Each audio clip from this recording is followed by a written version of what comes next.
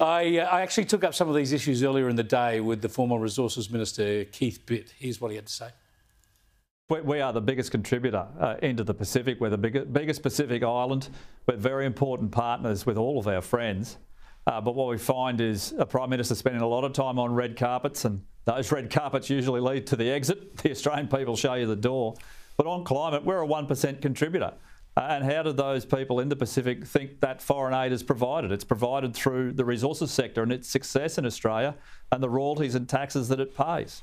Yeah, spot on. If the Pacific Island nations want to continue getting help from Australia, and I believe they should, they need the Australian economy to be strong and, and, and resilient. And there's just this ridiculous pretense of pretending that what we do on the climate will change things for them. As you say, we're 1% of global emissions. Their big friends up north, China, are producing more than a quarter of all global greenhouse gas emissions and rising. So they really ought to be shaking their fists at China. And China is putting in over 300 gigawatts of extra coal fired power plants. And guess what? They burn thermal coal. And from memory, they use more than a billion tonnes of coal a year. Uh, that's an enormous amount, mostly from Mongolia and places like that. Australia's contribution in, into that area for uh, thermal coal in particular is really not that large by comparison. Uh, and for those individuals in the Pacific, and I understand their challenges, uh, to demand that Australia restructures it, its economy uh, on the basis that will make no difference whatsoever to the climate. Well, I think that's just a ludicrous proposition. Uh, it's really asking for more handouts. And of course, generally, they want to have free rein on that money and where it goes.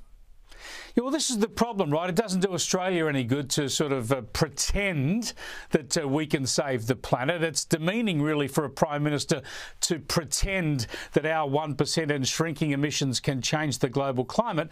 But also, he's just giving in to this pressure from the Pacific Islands. Don't we have to actually have a more adult, a more rational, a more frank discussion with them about what we can do to help them with their economies, with their law and order, with their education and their health, and, and stop pretending it's all about climate change?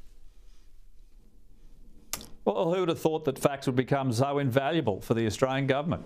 Uh, we, we, should make decisions based on facts. And every time, Chris, that there's an emergency in the Pacific and you see aid that's being handed out, it's got the big red kangaroo on it because we, we know our responsibilities into those areas. Uh, we've always supported uh, the Pacific and its people will continue to do that.